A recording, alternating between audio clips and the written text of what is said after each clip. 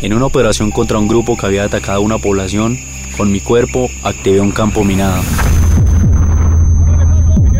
Intenté levantarme, pero mis piernas ya no estaban.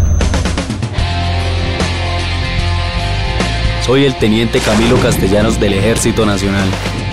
Y si pudiera volver a poner el pecho por mi país, yo lo volvería a hacer. Él no salió corriendo, sal a correr por él. Este 27 de abril en la Carrera de los Héroes. Inscripciones en tu boleta.